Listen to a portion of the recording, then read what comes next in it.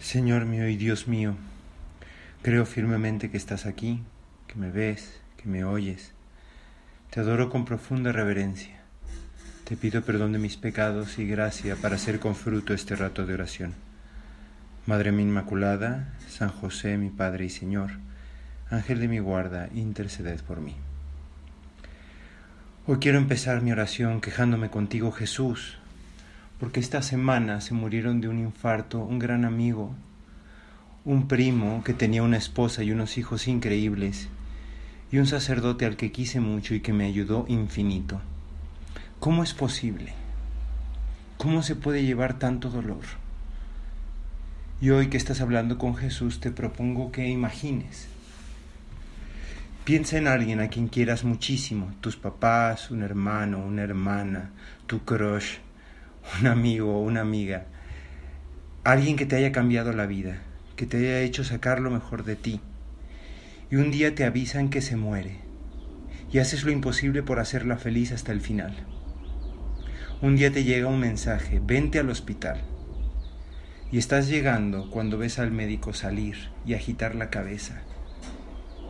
Sabes, sientes que todo el pasillo da vueltas y te recargas contra la pared. Es que no es posible, no pudo haberse muerto. Dios, ¿por qué sacas del mundo a alguien que te salió tan bien hecho? Es el funeral, pones una rosa, echas un puño de tierra. Pasados los días vas a la tumba y descubres que está abierta y vacía. No entiendes nada y de repente oyes su voz. O vas en la calle y al voltear descubres a alguien que se parece mucho. Te sonríe y lo reconoces, está vivo o está viva, pues eso ya pasó y sigue pasando. María Magdalena fue curada de siete demonios y quería muchísimo a Jesús. Cuando lo enterraron fue la primera en estar ahí junto con las otras mujeres, embalsamándolo. No terminaron, terminarían después. Ya se las arreglarían moviendo la gran piedra. Volvieron el domingo, súper valientes, porque estaban tristes, estaban amenazadas y una gran piedra cerraba la tumba. Y sorpresa, no hay piedra, pero tampoco hay cuerpo. Salen corriendo a decírselo a los apóstoles, que estaban tristes y lloraban. La verdad es que eran súper llorones y no les creyeron.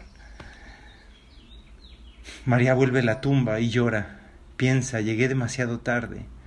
Siente a alguien a su lado. ¿Sería el jardinero?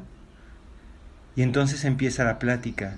Señor, si tú te lo llevaste, dime dónde lo pusiste, y yo voy y lo recojo. Y Jesús, riéndose por dentro, la llamó María.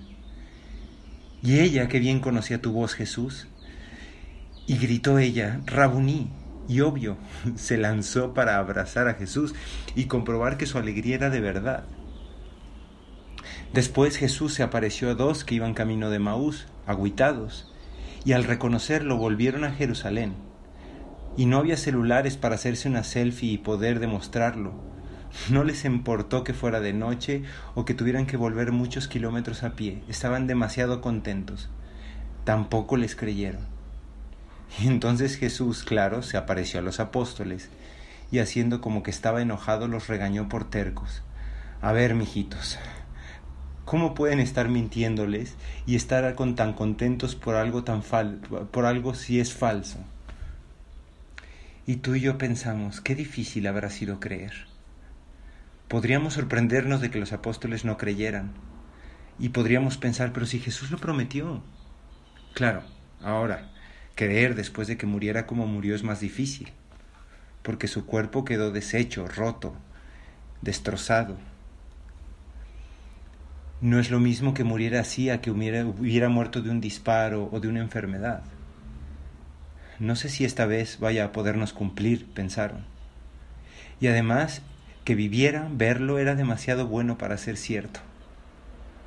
Y entonces Jesús les dijo, vayan por todo el mundo y anuncien la buena noticia a toda la creación. Estando tan contentos, eso es bien fácil. Y en esta pandemia puede que tú y yo estemos desanimados pensando que todo es un fracaso.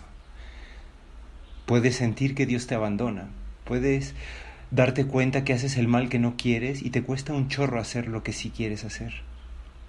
Tal vez pienses que estás perdiendo el tiempo y estás perdiendo fuerzas buscando a Jesús. Tal vez no has perdido la fe, pero sí la esperanza y las ganas de confiar. A veces nos pasa como a las mujeres. Ante la piedra, tus pecados y los míos, tenemos miedo porque nos parecen algo enorme y pesado. A veces se nos muere Jesús por un pecado grave, pero también poco a poco por nuestros pecados veniales y por nuestra poca generosidad. Y puedes gritar, Jesús, ¿dónde estás cuando te necesito? Pues te digo que Jesús está vivo, está completito, es Él mismo, pero está transformado. La vida que había sido destruida en la cruz, el corazón atravesado, está latiendo de nuevo. En tu vida hay resurrecciones que tienen que ver con la resurrección de Jesús. Las mujeres resucitan porque ellas habían perdido toda esperanza y la recuperan. Y los dos de Maús, lo mismo. Y los apóstoles. ¿Y qué es lo que pasa? Pues se llenan de alegría, vuelven a vivir. ¿Y qué pasa con tu vida hoy 21 siglos después? ¿Eres feliz o tienes miedo? Jesús, inúndanos de tu alegría y que por eso todos sepan lo que es creer en ti. Si tú estás contento, si tú eres feliz, no podrás aguantarte compartir tu alegría. En 1937, San José María y unos de los primeros del Opus Dei estuvieron escondidos en un departamento que era la legación de Honduras. Vivían más de 100 personas ahí, todo el mundo estaba muy nervioso. Había un solo baño y no había comida. Bueno, sí había. Algarrobas. Las algarrobas son una cosa que huele como a calcetines de 30 días de no lavarse. Y tenían bichitos, les llamaban las proteínas de las algarrobas. Y San José María hacía todo lo posible para que nos divirtiéramos, decía uno, y organizaba, por ejemplo, carreras con las cucarachas que subían por la tubería. Vamos a hacer carreras, nos decía, a ver quién sube antes, si la rubia o la negra.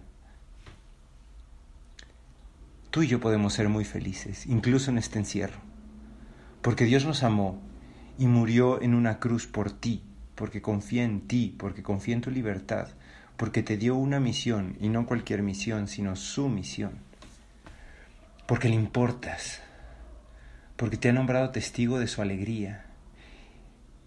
Ahora depende de ti decidir qué vida quieres vivir. Y no me refiero a actividades o a trabajo, sino si quieres vivir una vida eterna que te llene los ojos de alegría, un cielo, o prefieres vivir triste. Al final de este rato de oración, te pregunto con San José María, ¿no hay alegría? Piensa, hay un obstáculo entre Dios y yo, casi siempre acertarás. ¿Y cómo quitar ese obstáculo? Con la confesión. Confesarse es más complicado, pero es pero se puede. En pandemia se puede, hay lugares donde se confiesa. Seguro tú conoces o puedes preguntar. Una vez un sacerdote se subió a un taxi y el taxista le preguntó, Padre, ¿usted se confiesa? Y él respondió, sí. ¿Cada cuánto tiempo? continuó el taxista. Y entonces el cura respondió, todas las semanas. ¿Así de pecador es, padre? Y entonces el padre respondió, oye, ¿te puedo preguntar algo a ti? Y dijo el taxista, sí, pregúnteme, ¿tú cada cuánto tiempo te bañas? Padre, no pregunte más, ya entendí.